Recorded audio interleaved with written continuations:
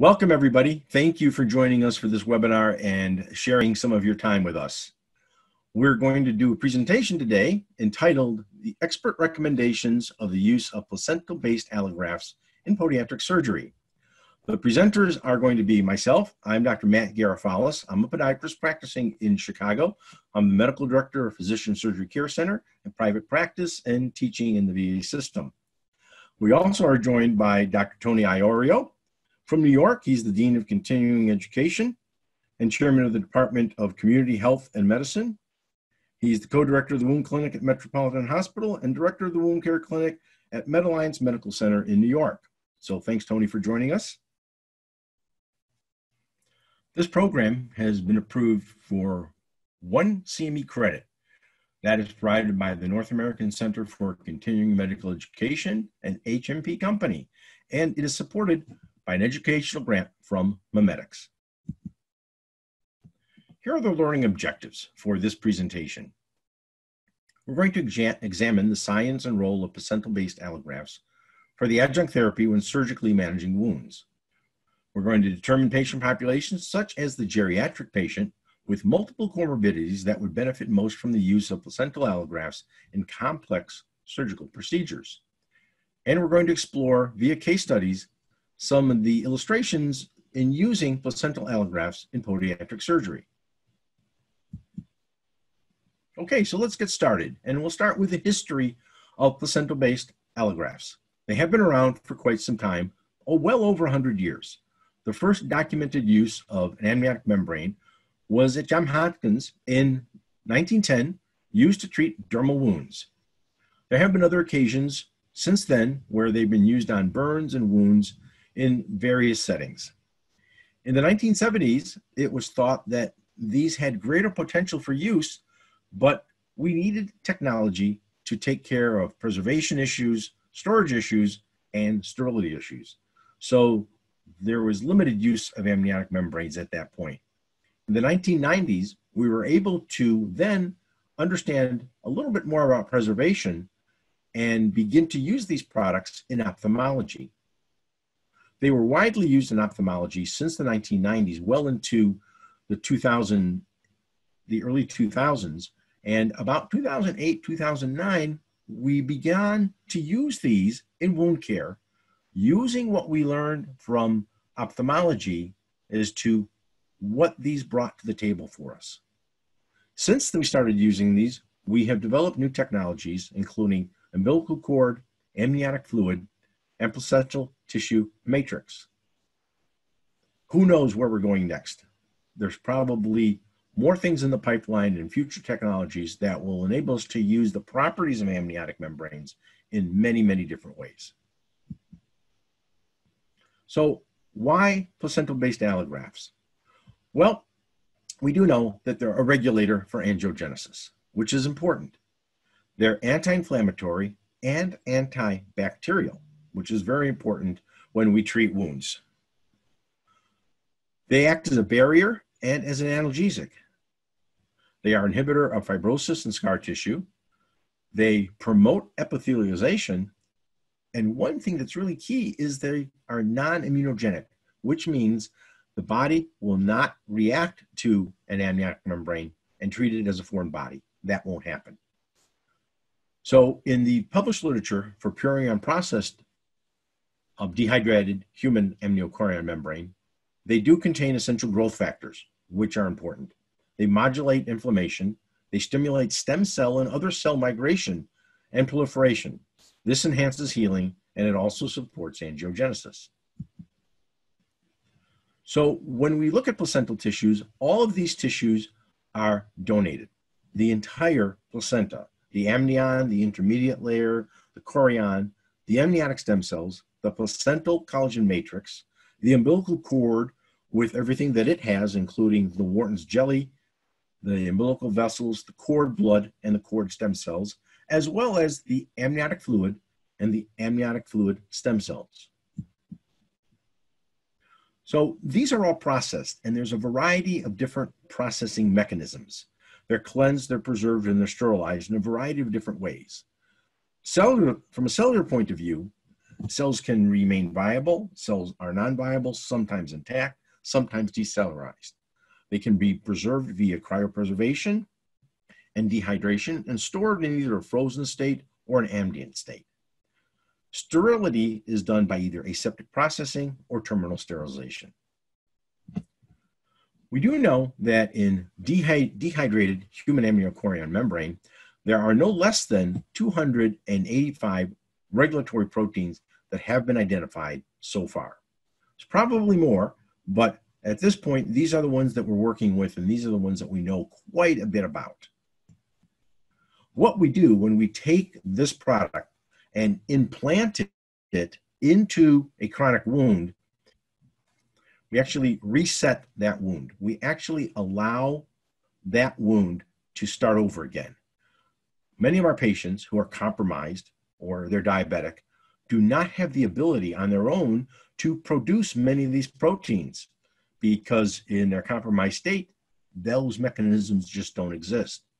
So by implanting this product, we now provide them with the proteins they need to take a chronic wound out and allow it to heal quickly.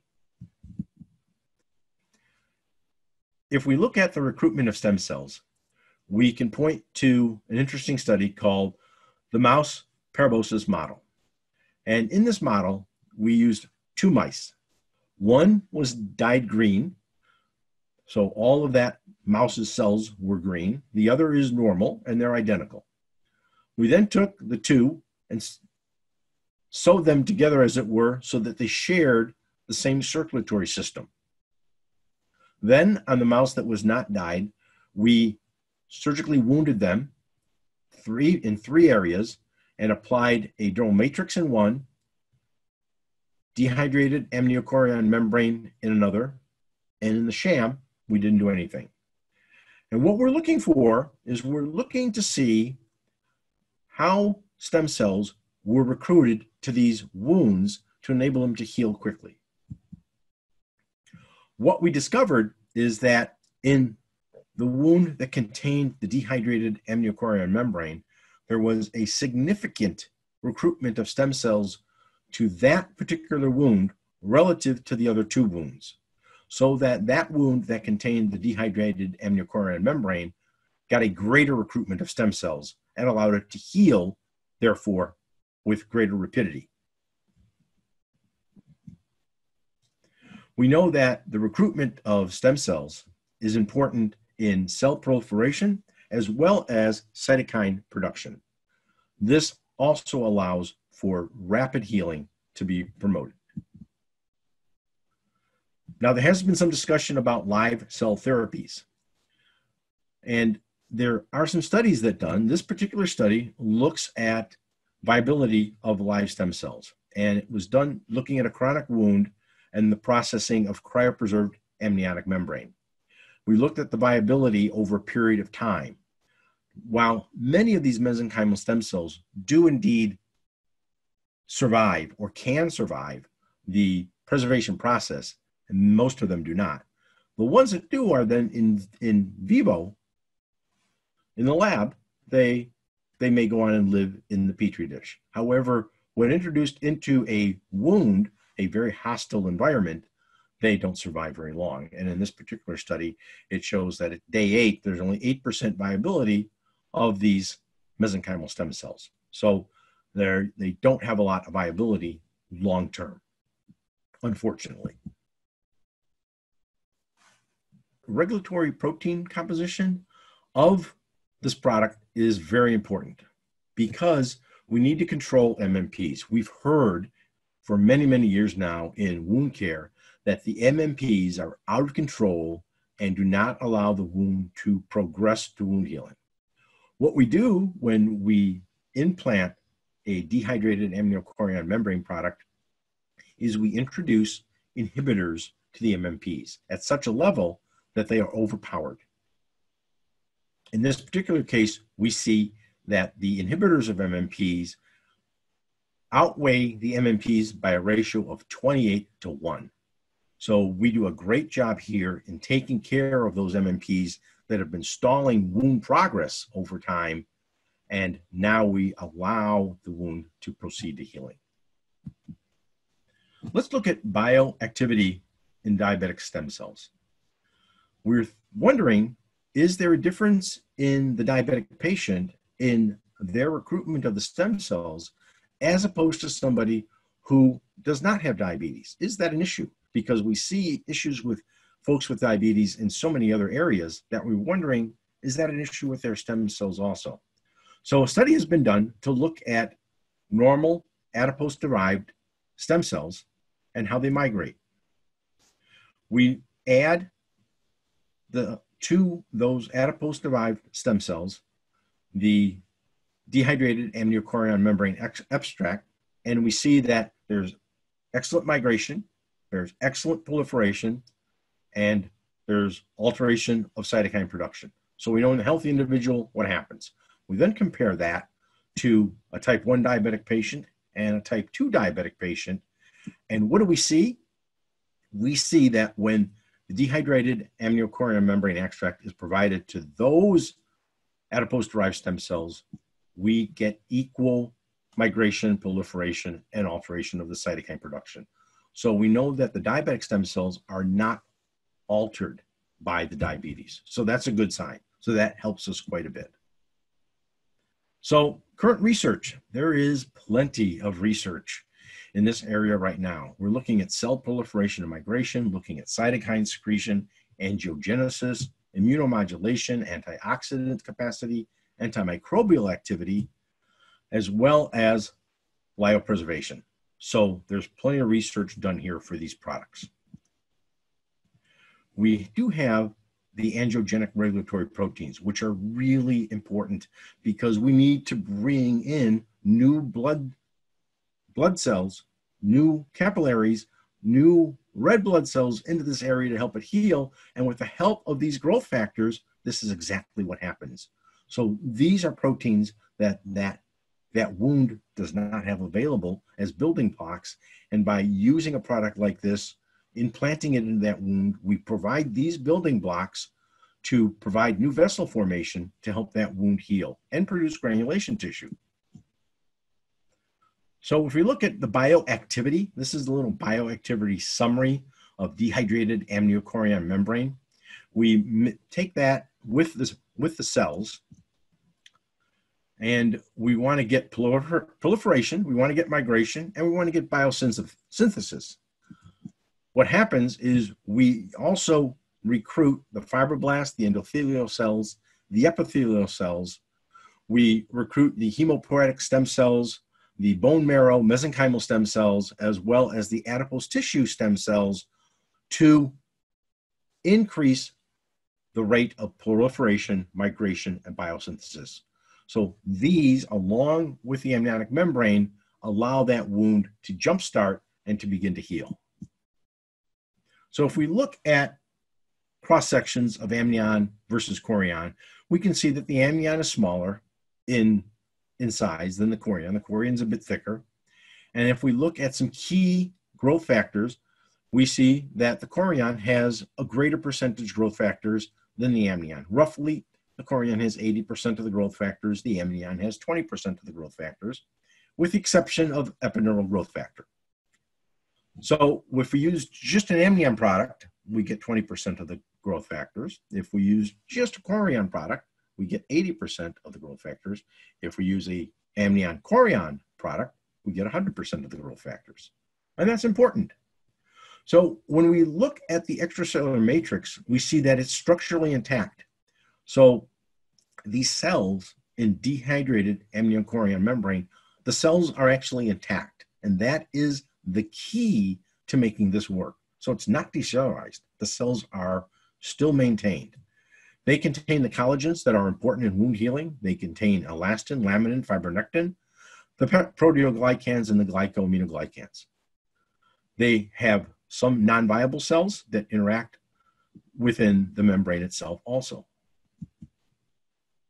There is an intermediate layer in, in amniotic tissue its purpose is mechanical. It contributes less than 5% of the regular regulatory proteins, and in many products, it has been removed. In some products, it's been left intact. Usually, to remove it, you have to be a little bit more aggressive in your cleansing technologies to remove it. However, sometimes in certain products it's there, and in certain other products it has been removed. So if we look at the composition of placental-based allografts, we can see that they're where they where they're from, or how they're how they're used, their form rather. They're micronized perhaps, or they're a thickened membrane. The fluid is flowable, and they they also have a decellularized placental matrix. And we can see on this slide the differences in hyaluronic acid, the differences in collagen, and the differences in cytokines present in the type of preparations that we might use. So when we use these different preparations, we need to understand exactly what's going on in the area that we're going to use them and make sure that we're using the appropriate amniotic product for the appropriate wound type. So wound preparation is key. And we've learned this the hard way by not preparing wounds and putting on expensive products, and they don't respond, and we wonder why. But oral preparation is key. First of all, the wound should not be grossly infected. We need the proper, proper management, whether it's IV, oral, or topical. The wound must be debrided to bleeding viable tissue, and it must be debrided before every application of any of these products. So we want to remove the dead tissue, we want to remove the bioburden, we want to stimulate and renew the wound edge. And this allows us to also allow the growth factor receptors to become more prominent when we apply an amniotic membrane. So we must remove all the necrotic soft tissue. We must get rid of that tissue that where the highest bacterial counts are at. And debridement also allows the platelets to become activated. And the platelets have growth factors too that aid us in healing these wounds. So there are studies to show, numerous studies to show that debridement is important. And in wound care, debridement is key. Wilcox's most recent article in 2013 showed that higher frequency debridement improves healing outcomes. So not only do we debride a wound on initial presentation, but we must, absolutely must debride a wound at every time we're going to do a new application.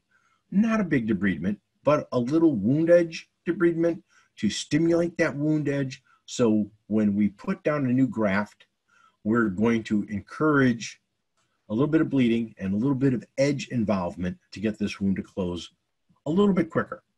So we've taken these ideas in wound healing, originally from ophthalmology, and now in wound healing, and we take them and we translate them over to what we do surgically also. So let's look at some different types of surgeries. I have a few case studies here. Dr. Iorio will also give you a few case studies later on. So Here's an area where we use a sheet of dehydrated amniochorion membrane. This is an peroneus brevis repair.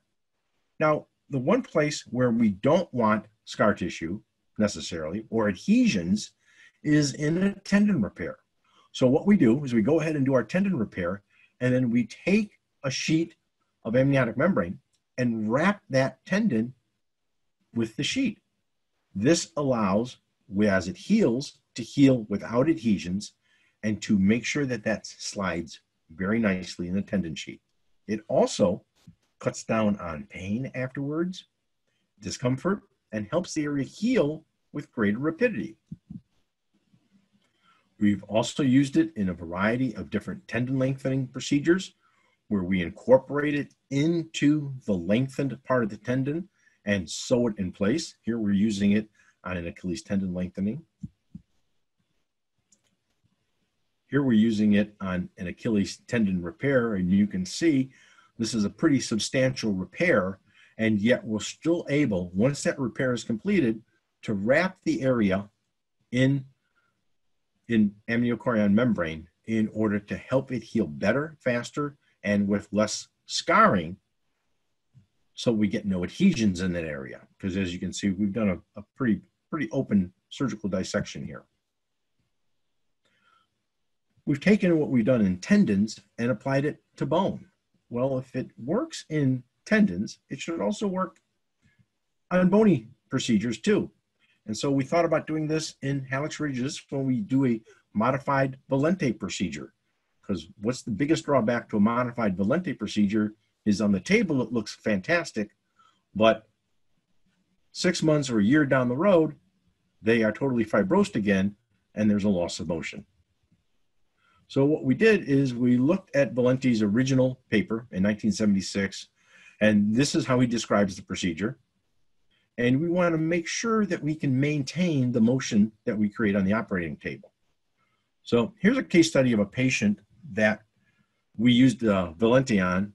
And of course, we have to pick the worst possible patient. This is his fourth joint procedure on his first MPJ.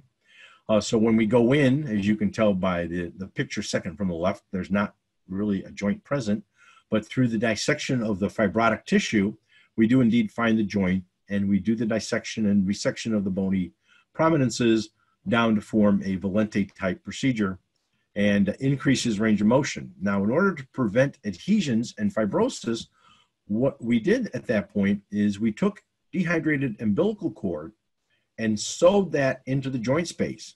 Dehydrated umbilical cord, you can hold a needle very nicely and it acts as a perfect suture material to fold into that joint. And you can see by the x-ray, we've created enough joint space according to Valenti, and now we've proceeded to procure that motion. And uh, a year down the road, he has the same motion that he had on the table, which was very nice. So we've gone ahead and it's become standard protocol to use amniotic products whenever we treat hallux limitus in order to ensure that we get better healing, great pain reduction afterwards. Postoperatively, these patients don't need, many of them don't need pain medications in our hands. And uh, we get great progress a year later or two years later. So that's uh, a nice little addition that we've discovered. Here's an interesting finding that we had come into the uh, our clinic. This patient comes in with a mass on their lower leg, uh, slowly getting larger and causing some pain just due to its size.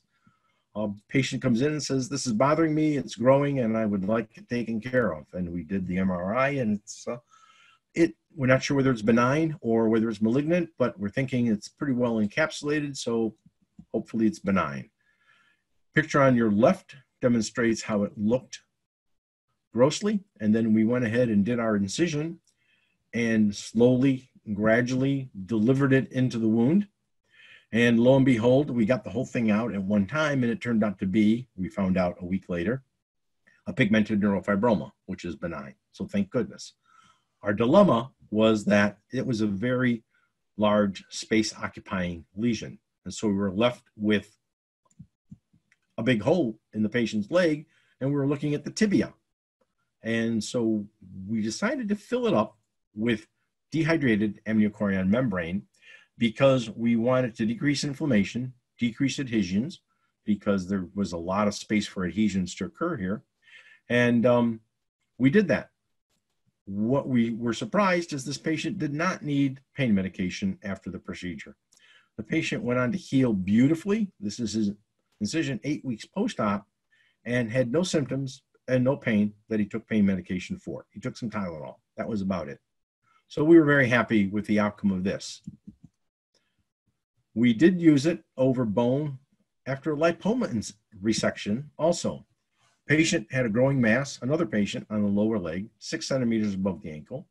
The decision was made to excise the mass, and when we excised it, we noted that it was indeed resting right on the tibia itself. So we did the same thing we did in the other case. This mass isn't quite so big, but it was easily excised. There's the lipoma. And as we lifted it up, lo and behold, we see the tibia right there, which we didn't expect to see. We expected to see a little bit of soft tissue, but since we had exposed tibia, we covered it with dehydrated amniochorion membrane, sewed in layers over that, and then closed the site, adding a little bit more dehydrated amniochorion membrane along the incision as we closed it. This patient, uh, two weeks post-op, had very little swelling. The incision was healing beautifully without any complications, and um, three years down the road is doing fine without any any issues at all.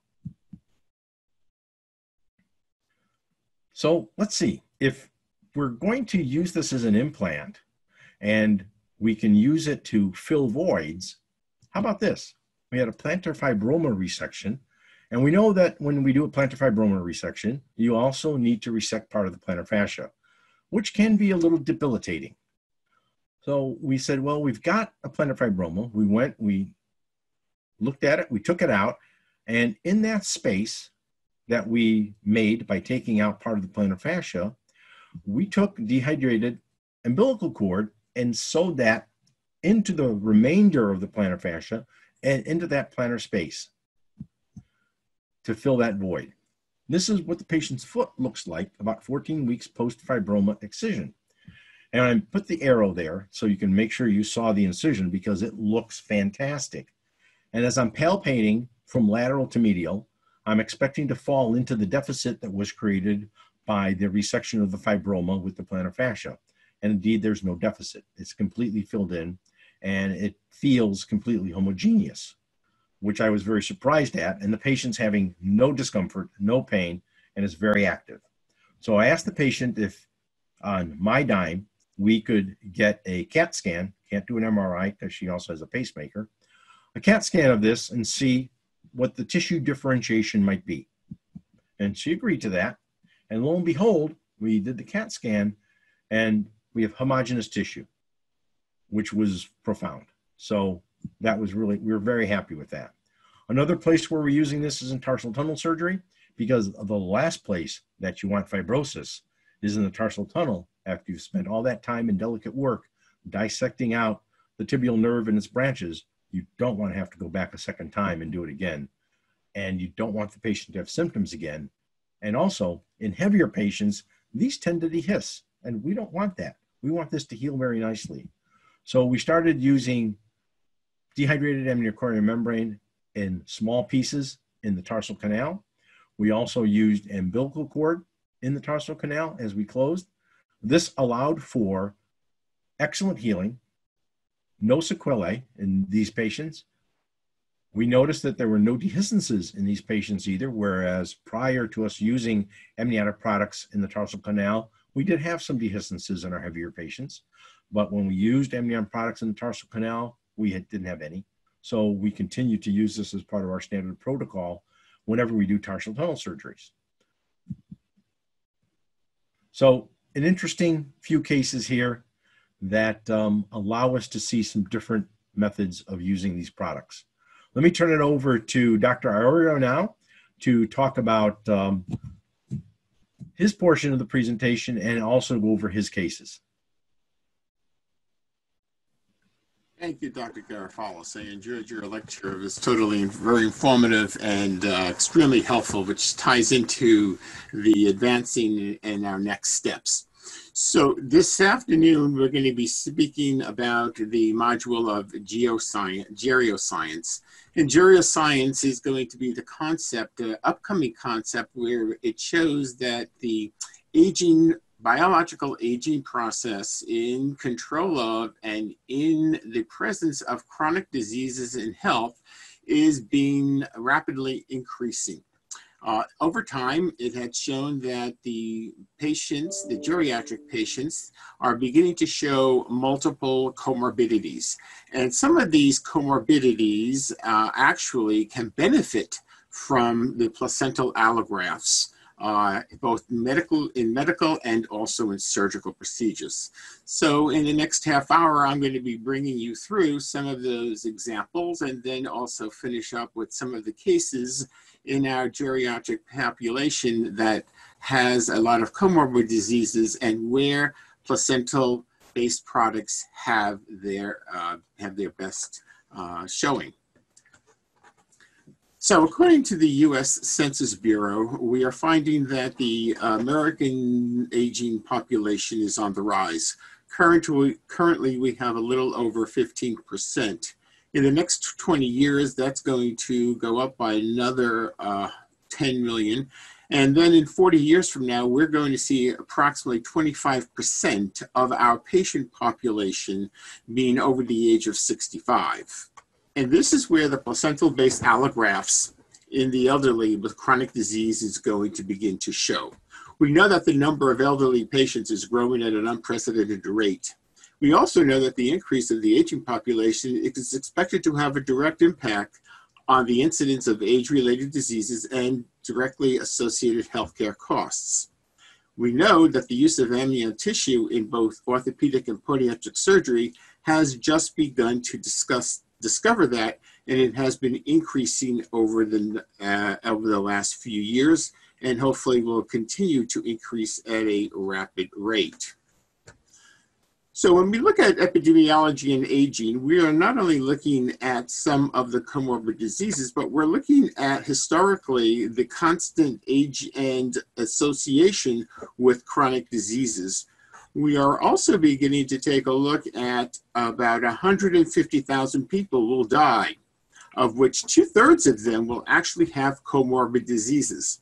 So if you look at it as a whole, we are looking at over 100 billion people 100 million people in the United States that will be dying from comorbid diseases. Taking a look on the left hand side, that cause of death we know is heart disease, but when we get down into the middle of the screen, you see diabetes. And diabetes is one of the problems in which we see as a podiatric clinician, physician, and surgeon that these are the types of people who will be developing these comorbid diseases, and associated with that, we'll, we will see lives that are lost. So, as a healthcare provider, it is it, it, it behooves us not to begin to treat those types of uh, disease entities and to increase the quality of life to our patients. So, aging and chronic disease go hand in hand. We see a lot of cardiovascular disease and its manifestations. We see a lot of diabetes and its complications, cancer to name a few, and musculoskeletal problems, which we are going to obviously concentrate on today. Because with that comes degenerative joint disease, osteoarthritis. We just heard about a case of a bunion procedure. We hear cases about hammer toe procedures and other midfoot and rear foot pathologies that can actually benefit for some of the allografts that we're about to review.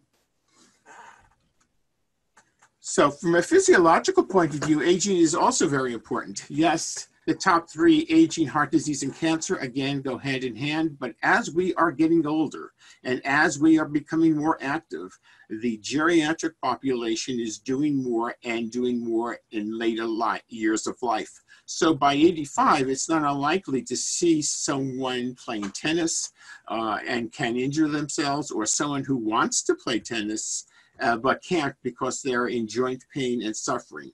This is where we, as clinicians, can actually help that patient. So we're looking at the physiologically of aging, and when we look at physiologically aging, we look at a number of things, a number of uh, models that actually discuss and tell us what's going on everything from inflammation all the way to stem cell exhaustion, also mitochondrial dysfunction, all and cellular senescence. These are some of the markers in which the aging process or aging theories are built on. And we see the inflammation, we see the loss of proteostasis, we see the loss of stem cell, and how we can supplement it with alternatives such as placental-based membranes.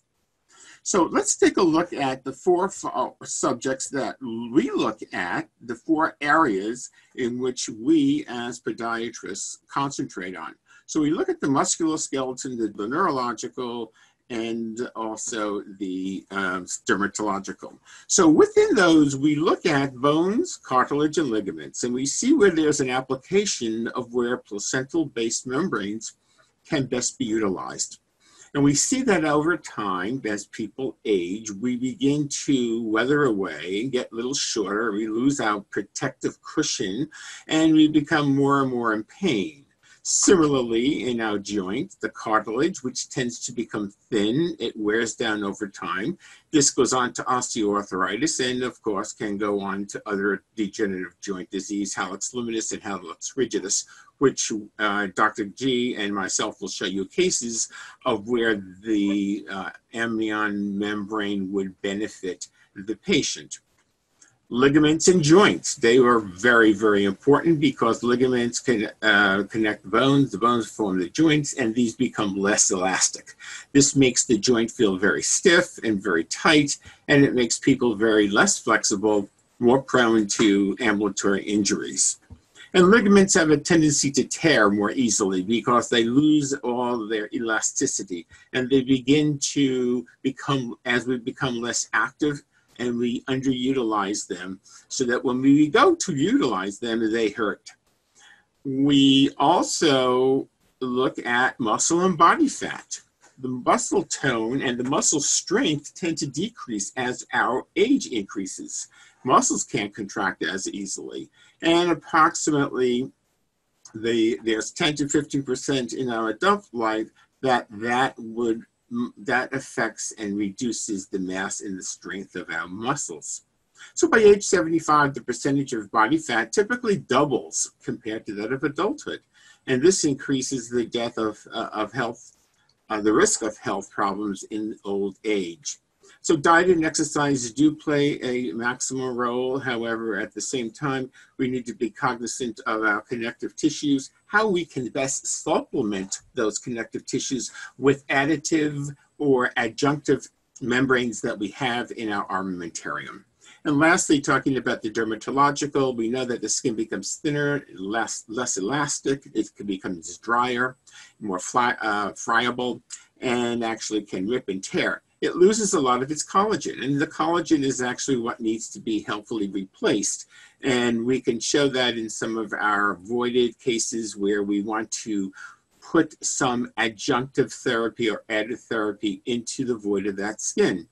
The fat layers, they also too become very wrinkled and become uh, a little bit less appear to be tolerant to cold and it also decreases. The sweat gland and of course the blood vessels also decrease. All of these things will be adding to uh, a storm. The musculoskeleton, which is our last discussion, will be on decline in the body mass fat.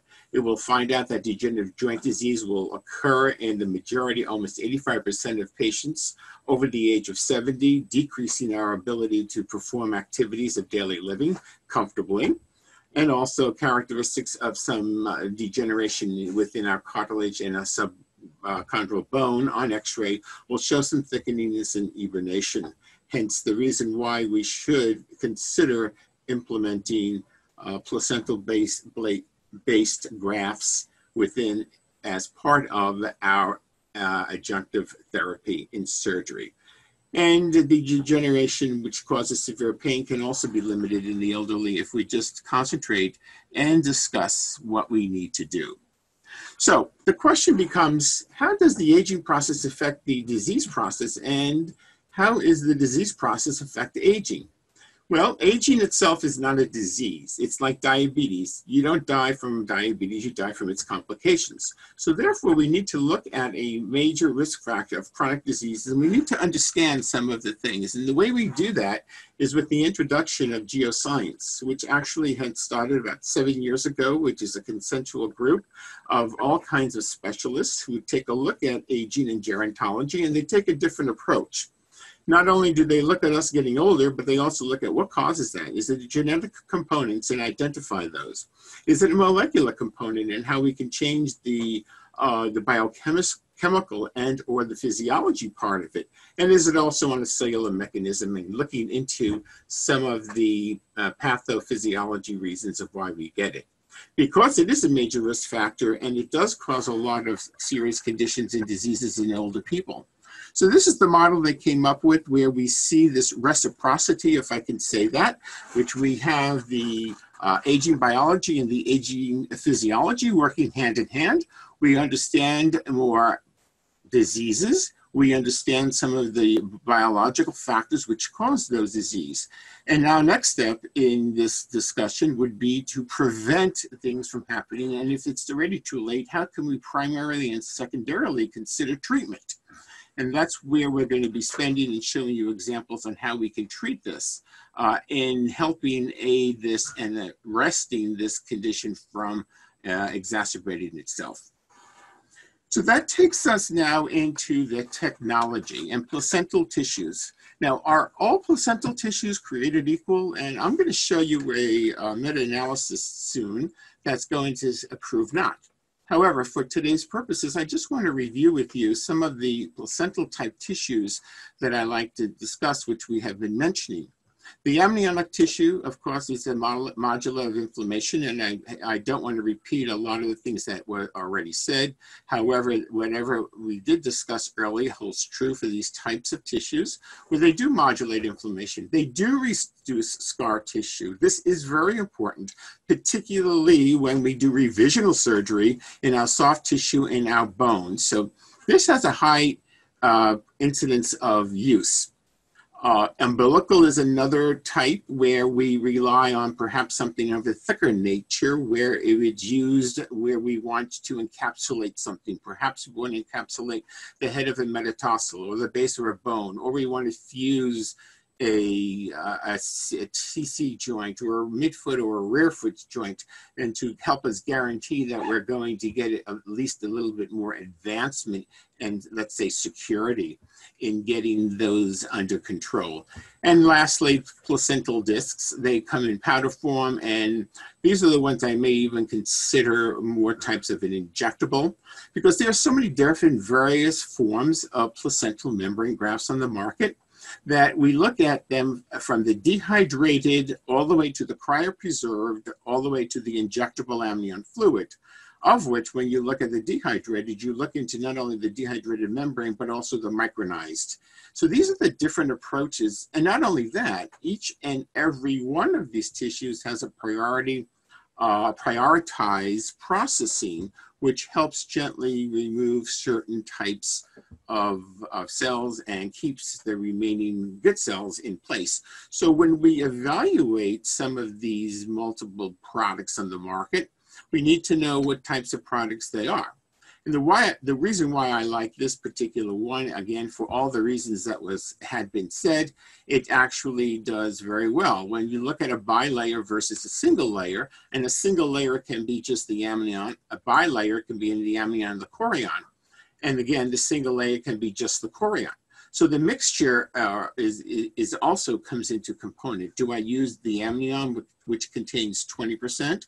Do I use the uh, chorion, which is the 80% of the proteins and the growth factors and all the, the good um, nutrients and the and the important particles? Or do I use a single double layer, which is dehydrated amnion chorion, that contains the 20% amnion and the 80% of the chorion growth factors? So these are the things in which we need to understand. We, we speak about this dehydrated human amnion chorion membrane and which it contains all the things that has said by 50 times already, the extracellular matrix, the growth factors, the cytokines. And we know that it stimulates multiple types of tissues. It migrates and helps in proliferation, helps regulation. And what that does, it acts as a very strong attracting force by connecting or recruiting the cells. And in this particular case, the mesenchymal skin cells, which you see on the lower left, is being attracted to or drawn to in order to form a new pool of tissue that could actually help and aid in this new supply of the growth factors and the advanced proteins. Some of the uses for which we have used this for complicated wounds which have exposed bone and tendon, after cleaning it out and after uh, a few applications and doing good standard of care and good wound care, we spoke about earlier good debridement. So good debridement, and in addition to using adjunctive therapy such as placental membranes, we are adding to this armamentarium of getting our good and advanced wound care healing up to speed, where the patient will improve on quality of life.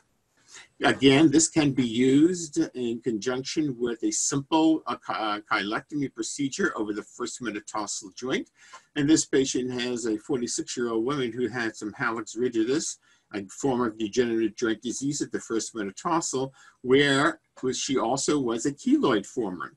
So using a placental-based membrane would benefit the patient uh, and also the surgeon by decreasing the amount of scar and also decreasing the amount of inflammation.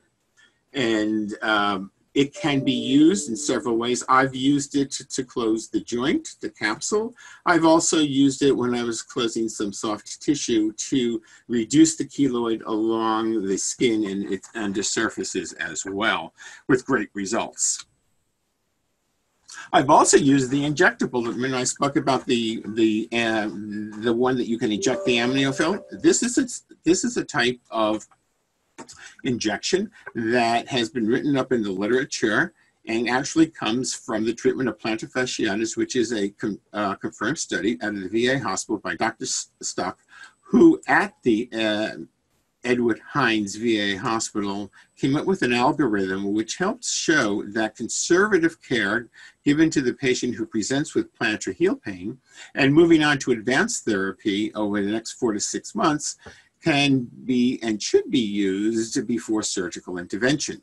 And here is the protocol for which uh, the VA had adopted, and it uses the injectable form of the placental-based membrane, where it's reconstituted with regular saline in a 1 cc syringe, and then it is injected. With conservative care post-injection, the patient has limited amount of ambulation. There may be a minimal amount of uh, initial pain. However, over the next two to three days, that initial pain usually subsides and resolves itself on its own.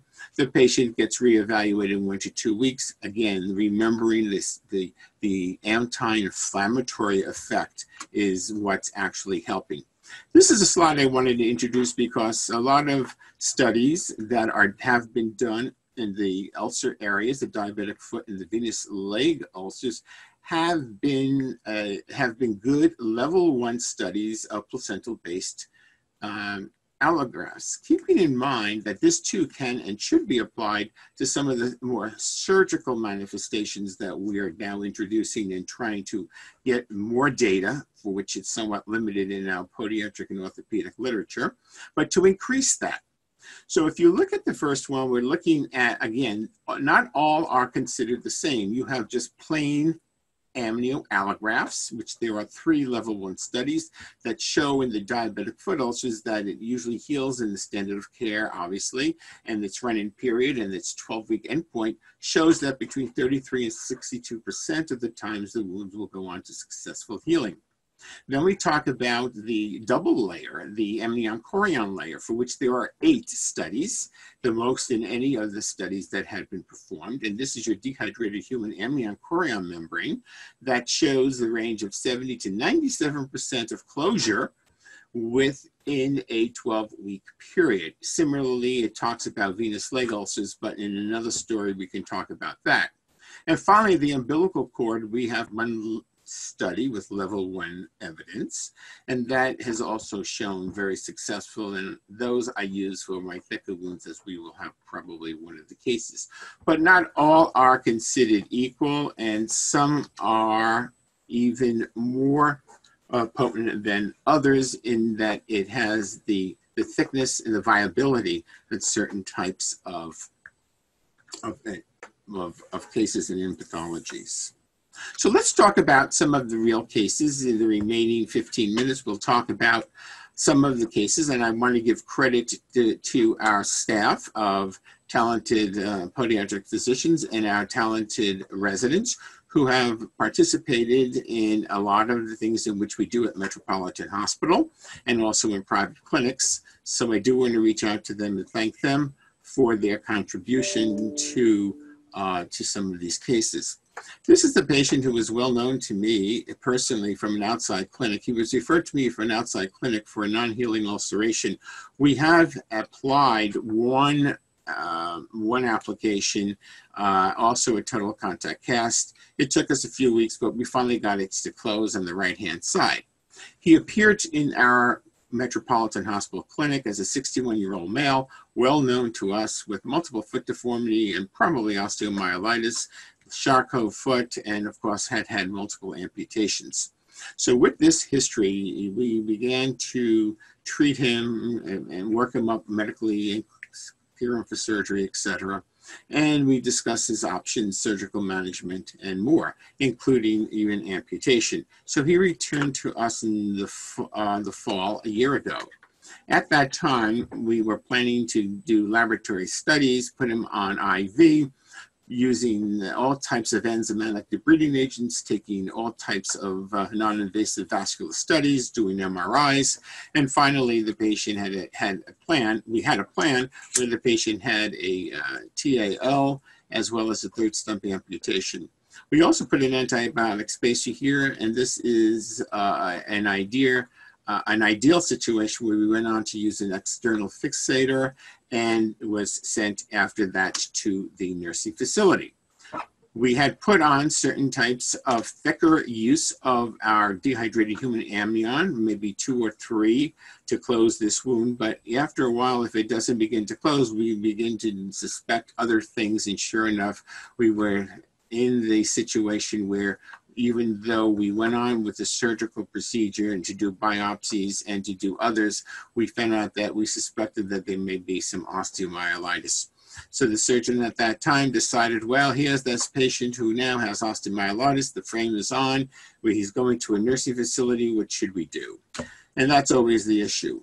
So we noticed that there was some dehiscence over the area, and the patient was then uh, had the frame removed and on the dehydrated uh, amnion chorion bilayer was then applied. So the patient completely healed after the frame was removed and after the application, keeping in mind that during this whole time, the patient was on IV antibiotics, non-weight bearing, and in an assisted living facility. So all of the things we tried to monitor to make sure that the patient would do well. He's doing extremely well now, seven months into it, and that he has uh, been pleased that he has been given his foot a second life and he's able to do more than what he could have done before and having no ulcerations makes him for a happy man.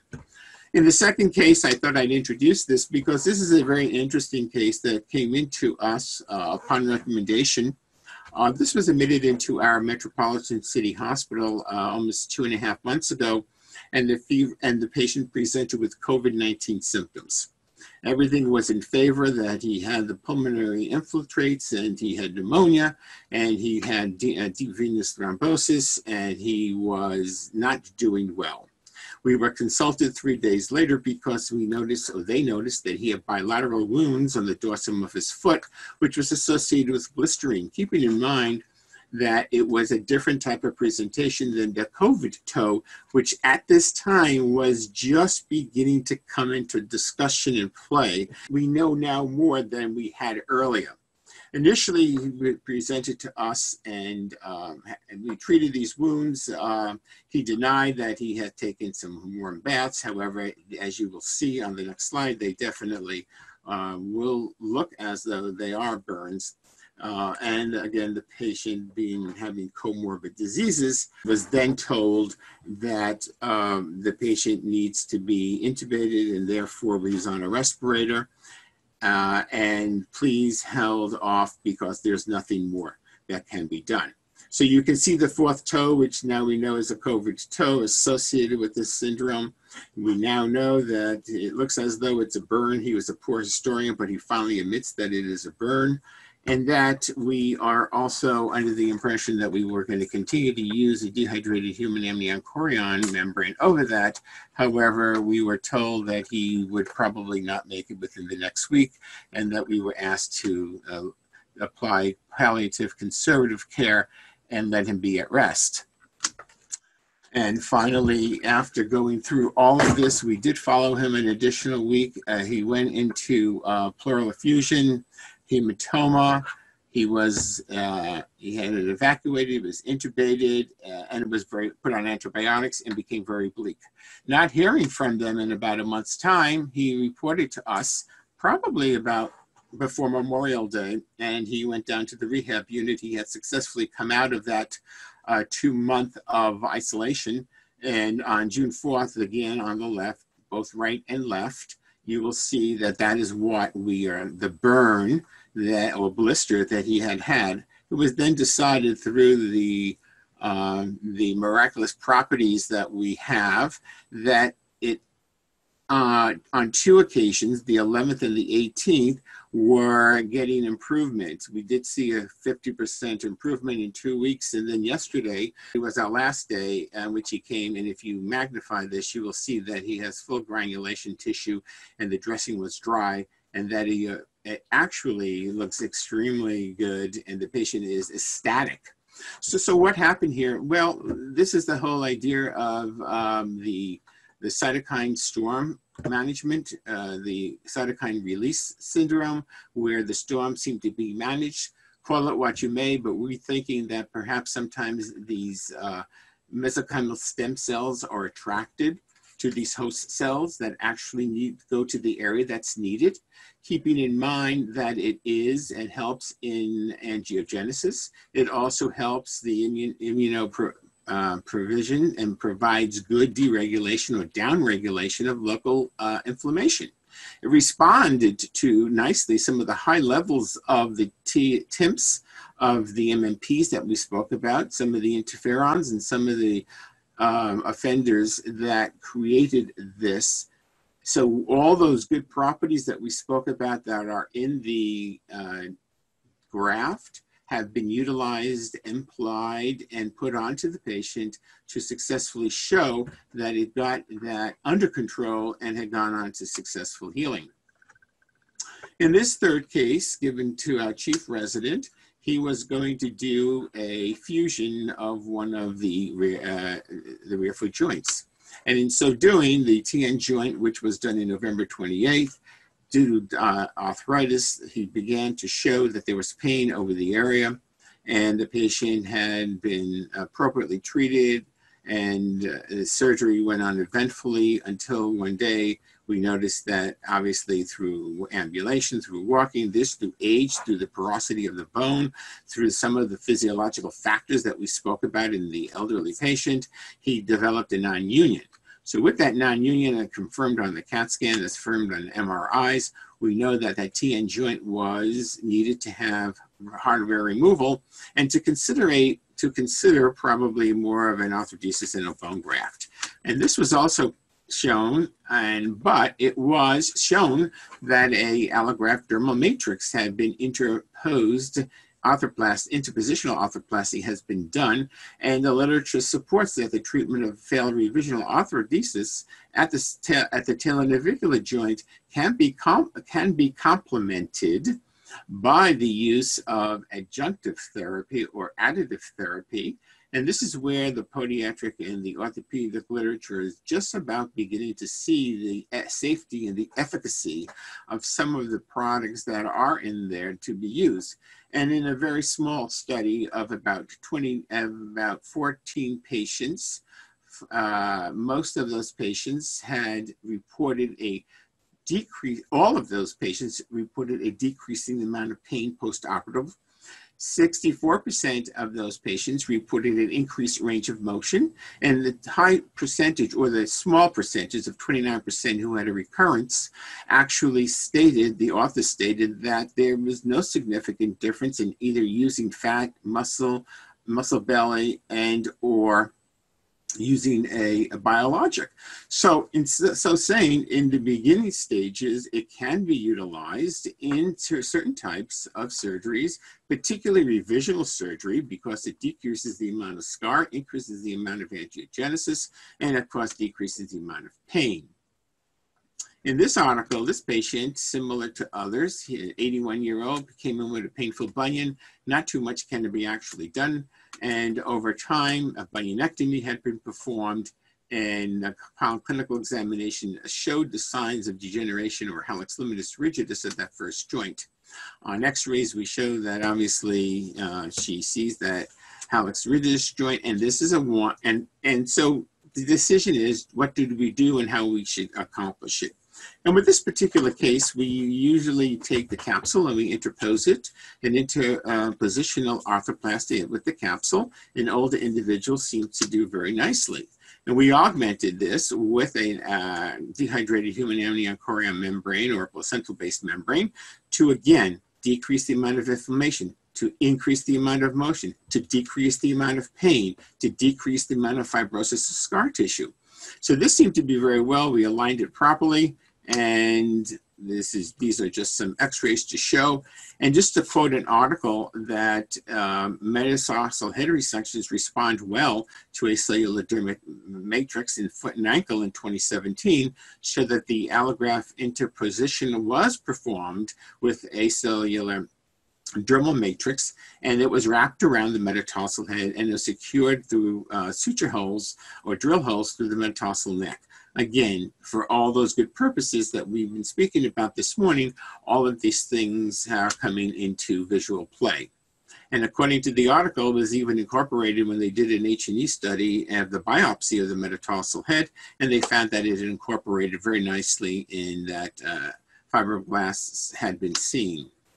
And last case we are going to discuss is a patient who came into the ED who came in with a um, an injury. He heard that pop, and everyone knows that that pop is a sign of perhaps a uh, weakness in the plantar flex power, and therefore we know what it is, and actually went on to go form, formulate our diagnosis. But the fact of the matter is, it was a complete mid-substance rupture of the Achilles tendon, about 2.2 millimeter gap, and depending on your incisional choice and or your, your, your surgical procedure of choice, adjunctive therapy of utilizing a placental-based membrane, not only within the tissue and the tendon to give its, its support and to decrease the amount of scarring and increase the amount of motion, but also to prevent some keloid process, which you can use in the subcutaneous tissue.